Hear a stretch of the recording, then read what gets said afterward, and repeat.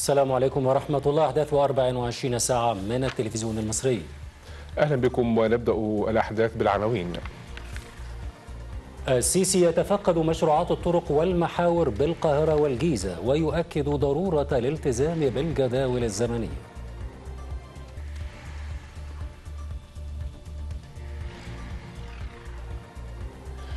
وزير الخارجية السعودي يعلن تحقيق تقدم كبير نحو حل الأزمة الخليجية.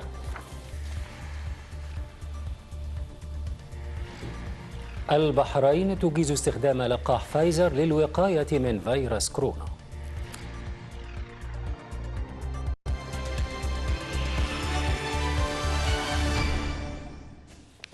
تفاصيل الأحداث. تفقد الرئيس عبد الفتاح السيسي مشروعات الشبكة القومية للطرق والمحاور بمحافظتي القاهرة والجيزة. وأوضح المتحدث باسم رئاسة الجمهورية أن الرئيس تفقد محور مصر الجديدة رمسيس وامتداده إلى منطقة السادس من أكتوبر. كما اطلع الرئيس على سير الأعمال التنفيذية لعدد من المحاور الرئيسية بالجيزة خاصة في منطقة المنصورية.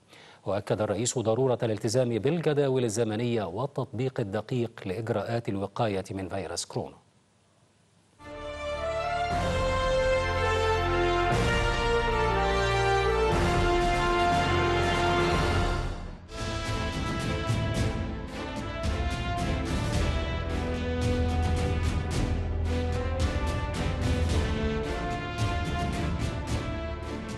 تفقد السيد الرئيس عبد الفتاح السيسي مشروعات الشبكة القومية للطرق والمحاور بمحافظة القاهرة والجيزة.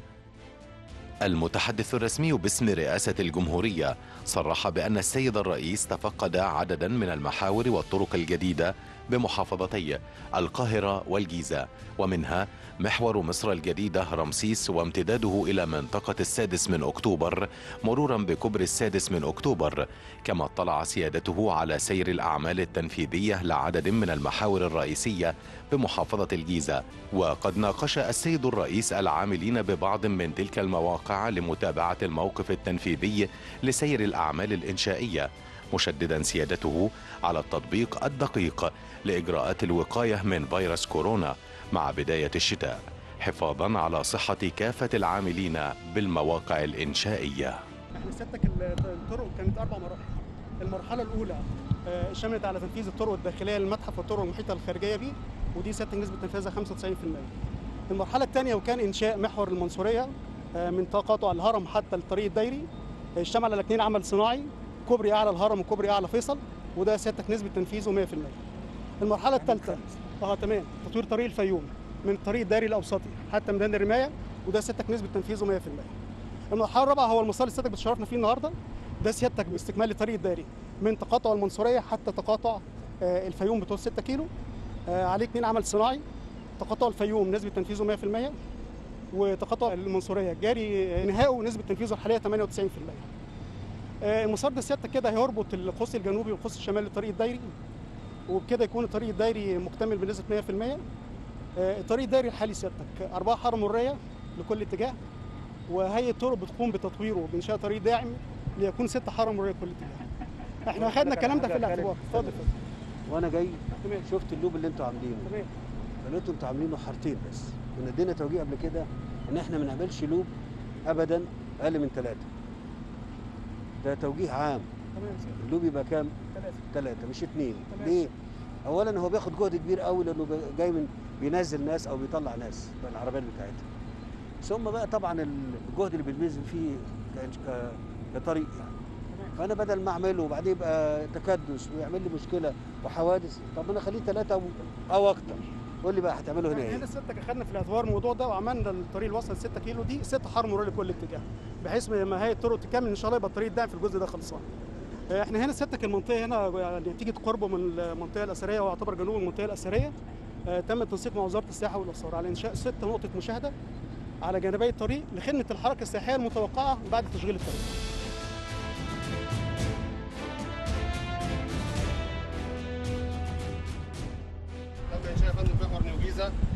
الغرض يا فندم من إنشاء المحور هو تخفيف ضغط الكثافات المرورية الواقعة على التقاطعات المحيطة بالمحور يا فندم.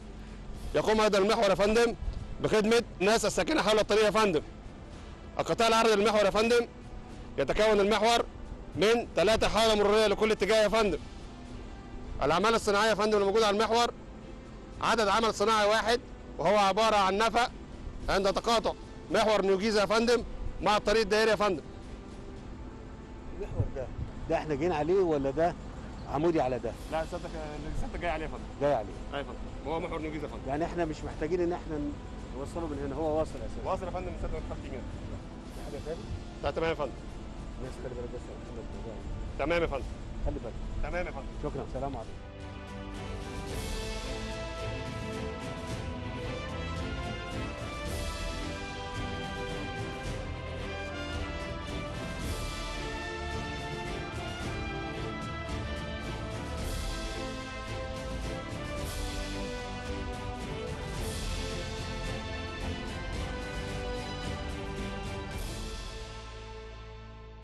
في إطار توجيهات الرئيس عبد الفتاح السيسي بشأن تأمين الرعاية المصريين في الخارج نجحت الأجهزة المعنية في إطلاق سراح الربان البحري فاروق محمد عبد العال الذي كان محتجزا لدى جماعة الحوثيين اليمنية وذلك بعد مفاوضات استمرت لفترة وقد شابها عدد من العقبات. وقد أسفرت جهود الدولة عن إعادة المواطن المصري أمس الجمعة إلى البلاد بالتنسيق مع الأجهزة اليمنية ومنظمة الهجرة الدولية في عدن عقب إجلائه من مناطق الحوثيين إلى عدن ومنها إلى مصر. قال وزير الخارجية السعودي فيصل بن فرحان أنه يأمل في التوصل لاتفاق في أقرب وقت لحل الخلاف الخليجي القائم منذ فترة وذلك بعد التقدم الأخير في المحادثات بقيادة الكويت والولايات المتحدة. Kuwait, but also uh, حققنا تقدما كبيرا في الأيام الأخيرة بفضل الجهود المتواصلة للكويت وأيضا بفضل الدعم القوي من الرئيس ترامب. نأمل أن يصفر هذا التقدم عن اتفاق نهائي يبدو في المتناول وبوسع القول أنني متفائل من أننا نقترب من إتمام اتفاق بين كل الدول محل الخلاف. وقد كان وزير الخارجية الكويتي الشيخ أحمد ناصر الصباح قد أكد أن تقدما تحقق صوب إنهاء خلاف خليجي شهد مقاطعة السعودية ومصر والإمارات والبحرين لقطر منذ ما يزيد عن ثلاث سنوات. في إطار جهود المصالحة التي سبق أن قادها سيدي حضرة صاحب السمو الشيخ صباح الأحمد الجابر الصباح رحمه الله واستمرارا للجهود التي يبذلها حاليا سيدي حضرة صاحب السمو الشيخ نواف الأحمد الجابر الصباح حفظه الله ورعاه أمير دولة الكويت وفخامة الرئيس دونالد ترامب رئيس الولايات المتحدة الأمريكية الصديقة لحل الأزمة. فقد جرت مباحثات مثمرة خلال الفترة الماضية أكد فيها كافة الأطراف حرصهم على التضامن والاستقرار الخليجي والعربي وعلى الوصول إلى اتفاق نهائي يحقق ما تصبو إليه من تضامن دائم بين دولهم وتحقيق ما فيه خير شعوبهم. وفي هذا الإطار نعرب عن التقدير للسيد جارد كوشنر كبير مستشاري الرئيس الأمريكي على الجهود القيمة التي بذلها مؤخرا في هذا الصدد. أعلنت وزارة الصحة والسكان تسجيل 427 حالة جديدة بفيروس كورونا المستجد و16 حالة وفاة. وأفادت الوزارة بخروج 109 متعافين من فيروس كورونا من المستشفيات وذلك بعد تلقيهم الرعاية الطبية اللازمة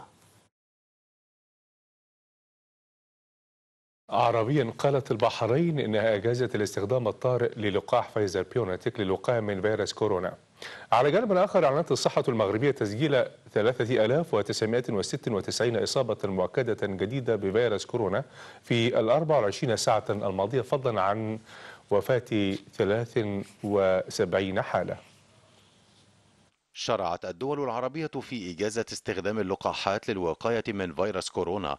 البحرين أعلنت أنها أجازت الاستخدام الطارئ للقاح فايزر بيوتنيك لتصبح بذلك ثاني بلد يجيز اللقاح بعد بريطانيا. وشهدت الدول العربية انخفاضا ملحوظا في أعداد الإصابات.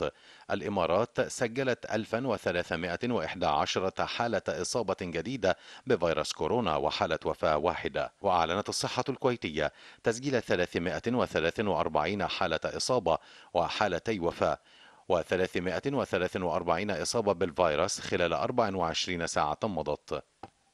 وسجلت الصحة السعودية 234 حالة إصابة مؤكدة جديدة بالفيروس فضلا عن عشر حالات وفاة جديدة. وأعلنت الصحة المغربية تسجيل 3996 إصابة مؤكدة جديدة بفيروس كورونا خلال 24 ساعة مضت فضلا عن 73 حالة وفاة. سجلت الجزائر 803 حالات إصابة جديدة بفيروس كورونا و12 حالة وفاة. ومددت حظر التجوال المفروض ليصبح من الثامنة مساء إلى الخامسة صباحا في 34 ولاية من بينها الجزائر العاصمة. وأعلنت الصحة العراقية تسجيل 1855 إصابة جديدة بفيروس كورونا وتم تسجيل 26 حالة وفاة جديدة. وأعلنت الصحة الفلسطينية تسجيل 1968 حالة إصابة جديدة بفيروس كورونا المستجد و17 حالة وفاة. وسجلت ليبيا 680 إصابة جديدة بفيروس كورونا المستجد وسبع حالات وفاة جديدة جراء الإصابة بالفيروس. ومعنا هاتفين الدكتور نبيل الدبركي مؤسس ورئيس المعهد القومي للحساسية والصدر السابق. دكتور بعد التحية هنا يبدو أن فيروس كورونا ما زال يضرب العالم وأيضا بعض الدول العربية كما سمعت في هذا التقرير. يعني ولكن في نفس الوقت مع انتشار فيروس كورونا هناك محاولات أيضا كما قالت البحرين لإجازة الاستخدام الطارئ للقاح فايزر بيونتيك للوقاية من هذا الفيروس. يعني كيف يمكن قراءة ذلك؟ هو طبعا اللي عايز يقولوه شيء طبيعي جدا. أنت فيروس آه، حير العالم كله بيهدد آه، سكان العالم. وفي نفس الوقت طبعا في حدث منه حالات وفيات كثيره جدا. هذا الفيروس ليس له علاج.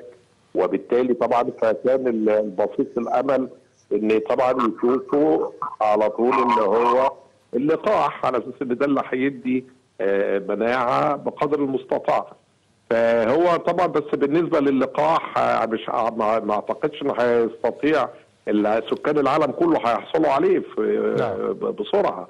لازم هيبقى في أولويات لتوزيعه لأن برضه هو كمية الإنتاج طبعا زي ما قلنا إن هي بتبقى في أولويات لتوزيعه. لكن, في نفس الوقت يعني لو مع هذا اللقاح وطبعا ومحاولات استخدامه أو إنتاجه بشكل كبير من كافة الدول يعني راينا الولايات المتحدة الأمريكية رأينا أيضا سبوتنيك خمسة من روسيا. هناك أيضا تزايد في الإصابة بالبرد وخاصة في هذه اللحظات أو في هذا الوقت من السنة دكتور. يعني هل هناك أعراض تشير إلى أن المريض قد يكون مصابا بفيروس كورونا أو حتى يعمل أشعة مقطعية في نفس الوقت؟ آه طيب هو برضو السؤال بتاعك دوت كويس. آه إحنا طبعا في الفترة دي أصلا من السنة.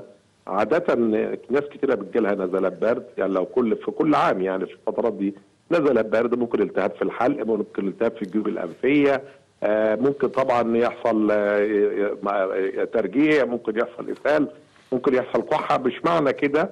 إن أنا كل واحد يحصل له العرض دوت يبقى كورونا. إحنا دايما بقول إحنا ما جبناش كل الميكروبات اللي في العالم وحبسناهم في خزنة وقافلين عليهم. ومفيش موجود بره بقى إلا كورونا. لا في فيروسات وبكتيريا كتيرة موجودة وتسبب تلك الأعراض وتسبب تلك الأمراض ولكن مش شرط إن تكون كورونا. ولكن إحنا بنقول إن برضه مش كل واحد آه، تعب هيروح يعمل إشعة مقطعية. زي ما حضرتك فعلا تفضلت وقلت. لكن هو المفروض إحنا بنقول إحنا زودنا دايرة الاشتباه. يعني الاشتباه بتاعنا طبعا إحنا في المرحلة دي زادت الدايرة. فأي واحد بيحس بأعراض غير طبيعية زي الكحة آه ارتفاع في الحرارة تكسير في الجسم في إسهال في ترجيع في صداع الكلام ده كله آه لازم إن هو في الحالة زي دي يلجأ على طول للطبيب هنا دكتور نبيل يعني آه، هناك من تعافى من كورونا ولكن في نفس الوقت يعني البعض يشعر بتعب يعني مستمر بعد حتى أن تعافى. هل هناك أدوية لسيولة الدم يأخذها المريض المتعافي من كورونا؟ وهل هناك عدد أيضا محدد من الأقراص التي يجب أن يأخذها؟ إحنا بالنسبة للأدوية المضادة للت- للتجلط إحنا أصلا بنمشي بيها آه، من شهرين لثلاث شهور لتحسبا وطبعا وقاية من إن يحصل أي جلطات لإن في حالات طبعا من البروجرام تتبع الحالات بتاعة كورونا على مستوى العالم وجد إن بيحصل تجلطات وبيحصل جلطات وبالتالي طبعا وحصلت بعد حتى آه، كورونا بشهرين في حالات حصلت كده. فعلى هذا الأساس إحنا بنأمن المريض بتاعنا بنديله أدوية مضادة للتجلط بحيث إن إحنا نعم. نطمن عليه إن ما يحصلوش أي جلطات أو أي مشاكل في الأوعية الدموية. وده اللي حصل يمكن في التشريح الأولي في بدايه فيروس كورونا انتشاره في إيطاليا عندما بالضبط. اتضح أنه يؤثر على تجلط الدم. هنا يعني البعض يقول أنه يتم استخدام مثلا أملاح ملح وليمون وغيره لتطهير ال- الفم وخاصة بعد الوجود من الخارج يعني. هل هناك أيضا مطهرات مثل البيتادين يمكن أن تقي من كورونا في حالة الغرغرة وأخذ هذه المطهرات بالأنف لا، ولا تثبت ذلك صحه ذلك الأمر؟ آه. إحنا بص هقول لسعادتك حاجة. إحنا ال- ال- القاعدة الذهبية بتاعتنا في الوقاية معروفة. عشان بس إيه يعني دي حاجات ثابتة. إن إحنا التباعد الاجتماعي يبقى أي حد المفروض إن أنا على بعد مترين منه وأكون أنا لابس الماسك. وهو لابس الماسك كده بتتضاءل جدا فرصة الإصابة. وبالتالي طبعا إحنا لو المجتمع كله يمتثل لهذا صدقني إحنا هنلاقي الحالات دي انضح يعني اندثرت وبقت خلاص يعني صحيح. بكلامنا لكن أنا عشان أقول لا يعمل بتدين يعمل الحاجات دي حاجات أصلا مع احتياط يعني مع احترام شديد ما خدتش أصلا ما فيش بروتوكول عالمي آه، أقره يعني ما أقرش صحيح. الحاجات ديت أنا أشكرك على هذا التوضيح آه، الدكتور آه، نبيل الدبركي مؤسس ورئيس المعهد القومي للحساسية والصدر الصعب كنت معي عبر الهاتف تراجع كبير الخبراء الامريكيين حول الأمراض المعدية انتوني فاوتشي عن انتقادات وجهها إلى الهيئة البريطانية المنظمة للدواء بعدما قال إنها تسرعت في الموافقة على لقاح مضاد لفيروس كورونا المستجد. وأثار ذلك بعض الشكوك لدى الدول الأوروبية لكن فاوتشي المعروف عالميا ويراس المعهد الأمريكي الوطني للحساسية والأمراض المعدية تراجع وقال لدي ثقة كبيرة بما تفعله المملكة المتحدة عالميا. يمثل العامل النفسي نسبة 70% من علاج وباء كوفيد-19 حيث تؤدي الإصابة بهذا الوباء إلى خفض معنويات المصابين وشعورهم بالخزي. الأمر الذي يترتب عليه سوء حالتهم النفسية مما يضاعف من آلامهم. ووسط كل هذا تظهر بارقة أمل للعلاج من هذا الفيروس. فقد أكدت وكالة الأدوية البريطانية أن قرارها السريع في الترخيص للقاح المضاد لفيروس كورونا وهو الأول بين الدول الغربية يحترم كل معايير السلامة بعد انتقادات حول سرعة عملية الموافقة. على جانب آخر تبدأ كازاخستان إنتاج اللقاح الروسي في الثاني والعشرين من ديسمبر الحالي على ما أعلنت السلطات هناك. ومن المقرر بدء حملة تلقيح كثيفة لسكان هذا البلد اعتبارا من مطلع 2021 وسينتج اللقاح الروسي الذي تؤكد السلطات أنه فعال بنسبة 95% في دول أخرى منها الهند والصين والبرازيل وكوريا الجنوبية. ومع اقتراب موعد التلقيح يعرب عدد متزايد من الفرنسيين عن عدم رغبتهم بالحصول على اللقاح. وأظهرت أرقام رسمية كشفت عنها هيئة الصحة العامة في فرنسا أن نصف الأشخاص الذين استطلعت آراءهم في نوفمبر ينوون الحصول على اللقاح في مقابل ثلثين في يوليو. وفي كاليفورنيا أعلن الحاكم منع التجمعات والنشاطات غير الأساسية في كل المناطق التي تعجز مستشفياتها عن استيعاب الإصابات بكوفيد-19 كانت جائحة كورونا كوفيد-19 قد أسفرت عن أكثر من مليون ونصف المليون حالة وفاة منذ ديسمبر الماضي فيما بلغ عدد الإصابات الإجمالية ما يقرب من 65 مليون ونصف المليون شخص. فيما له صلة باللقاحات أكد وزير الخارجية سامح شكري حق الدول النامية في الحصول على المصل المضاد لفيروس كورونا باعتباره سلعة ذات منفعة عامة. جاء هذا في بيان مسجل ألقاه شكري أمام الدورة الخاصة للجمعية العامة للأمم المتحدة حول الاستجابة لكورونا. كما أشاد وزير الخارجية بجهود منظمة الصحة العالمية والجهود الدولية التي تهدف إلى ضمان وصول مبكر ومتكافئ للتحاليل والعلاجات والأمصال الخاصة بكورونا. تؤكد مصر أيضا على حق الدول النامية في النفاذ للمصل المضاد لفيروس كورونا باعتباره سلعة ذات منفعة عامة حيث أن القضاء على هذه الجائحة لا يستوجب فقط إنتاج هذا المصل بل يحتم أيضا ضمان الحق في النفاذ إليه. وأود أن أشيد في هذا الإطار بجهود منظمة الصحة العالمية والجهود الدولية المرتبطة بمبادرة كوفاكس التي تهدف إلى ضمان وصول مبكر ومتكافئ للتحاليل والعلاجات والأمصال الخاصة بفيروس كورونا. في سياق متصل طالب وزير الخارجية سامح شكري بتكاتف دولي لمواجهة فيروس كورونا وأشار أن مصر حرصت على تبني نهج استباقي للتعامل مع الأزمة والتخفيف من حدة تداعياتها صحيا واقتصاديا واجتماعيا لقد حرصت مصر منذ بداية الجائحة على تبني نهج استباقي متكامل للتعامل مع الأزمة والتخفيف من حدة تداعياتها. ومن هذا المنطلق وقد عملت الدولة على توظيف الأدوات والآليات المتاحة على ثلاثة محاور رئيسية صحية واقتصادية واجتماعية. تهدف إلى ضمان الحفاظ على صحة المواطن واستقرار تحقيق معدلات تنمية اقتصادية إيجابية وكذلك التعامل مع التحديات الاجتماعية للجائحة. ولا يفوتني في هذا الصدد الإشادة بجهود وتضحيات العاملين بالمجال الصحي في مصر والعالم. أجمع في ظل ظروف العمل الصعبة التي فرضتها عليهم الجائحة الانتخابات مجلس النواب حيث يواصل المسؤولون بالخارج طباعة بطاقة الاقتراع من موقع الهيئة الوطنية للانتخابات مع ملئها لإدلاء بأصواتهم عبر البريد في جولة الإعادة للمرحلة الثانية من انتخابات مجلس النواب. تجرى الانتخابات على مقاعد الفردي في دوائر 13 محافظة هي القاهرة القليوبية الدقهلية المنوفية الغربية كفر الشيخ الشرقية دمياط إضافة إلى بورسعيد والإسماعيلية السويس شمال سيناء وجنوب سيناء. أحداثنا متواصلة من التلفزيون المصري وفيها بعد قليل. صندوق تحيا مصر يحتفل بتسجيل أرقام قياسية جديدة بموسوعة جينيس.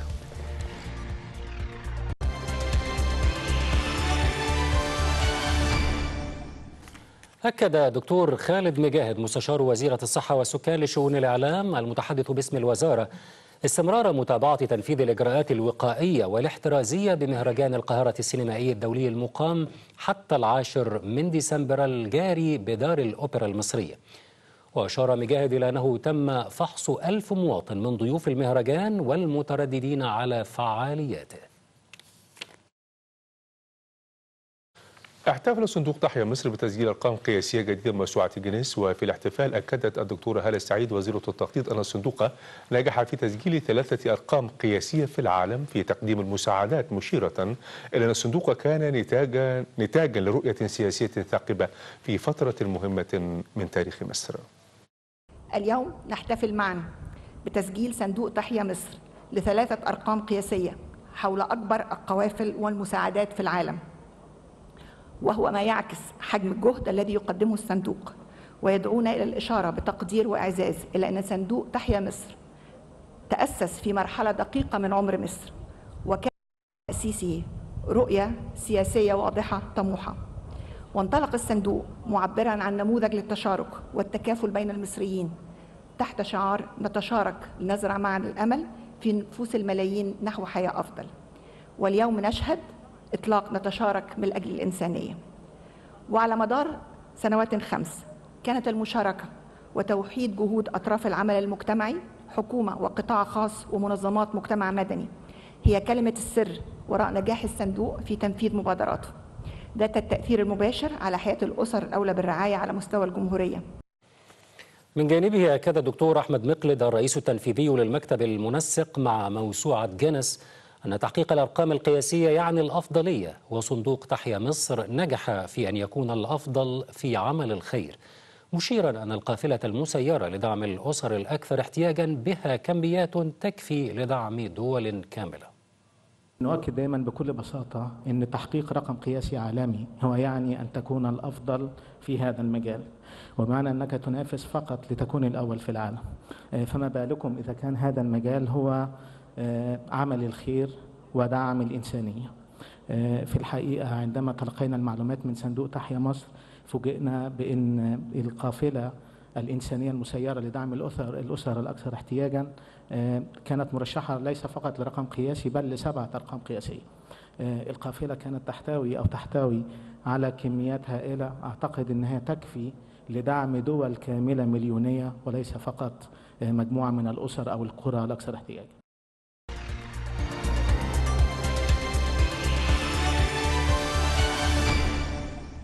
ونتوقف مشاهدينا مع جولتنا الصحفية والتي نبدأها من الأهرام. الرئيس السيسي يتفقد مشروعات الشبكة القومية للطرق والمحاور بالقاهرة والجيزة. ننتقل إلى الشروق وتصريح لوزير المالية. إطلاق مبادرة الموازنة التشاركية بكل المحافظات تدريجياً. ونتحول إلى أخبار اليوم. التضامن إصدار 500 ألف بطاقة خدمات متكاملة لذوي الاحتياجات الخاصة. ولا نزال مع أخبار اليوم الكهرباء. الطاقة المتجددة أصبحت موجودة على الشبكة القومية بشكل ملحوظ.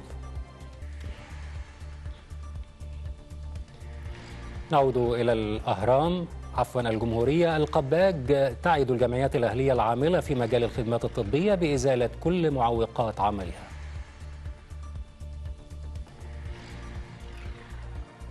ونختتم من الوطن. الزراعة مصر تشارك في اجتماعات المنظمة الإسلامية للأمن الغذائي.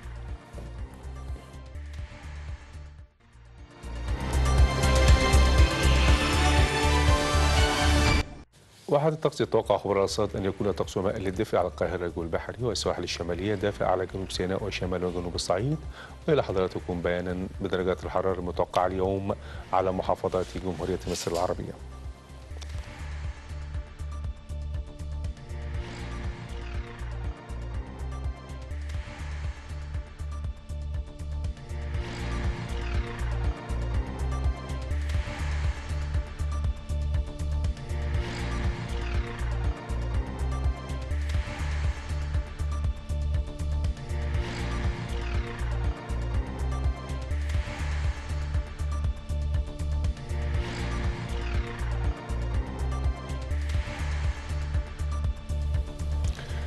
تنتهي معكم أحداث 24 ساعة. شكرا لكم. والسلام عليكم ورحمة الله.